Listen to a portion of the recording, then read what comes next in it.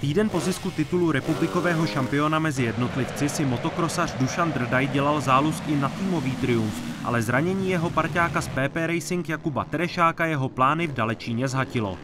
Bohužel Kuba Terešák si v ranním tréninku zlomil klíční kost, takže mu přeju brzký uzdravení, no a teďka už je to asi jedno, teďka, teďka to bereme s Marcelem Staufrem jako trénink.